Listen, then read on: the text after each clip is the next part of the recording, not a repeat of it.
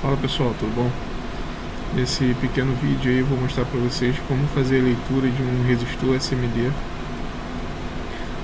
Vou mostrar aqui uma imagem para vocês. Como vocês podem ver, um resistor SMD ele tem um terço do tamanho né, de um resistor convencional.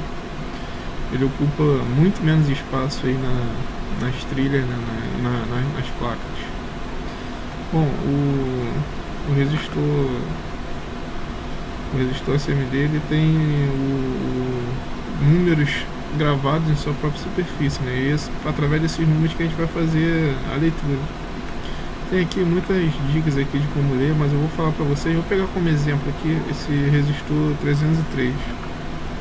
Como ler esse resistor 303? Quantos ohms vale?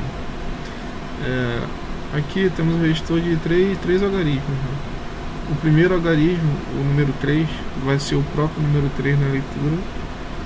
O segundo aqui, o número 0, vai ser o próprio número 0 na leitura. E o terceiro algarismo, o número 3, é a quantidade de zeros. Ou seja, aqui eu tenho um resistor 3, 0, 0, 0, 0. Então, nesse exemplo aqui, eu tenho um resistor de 30 kΩ, né? 30K.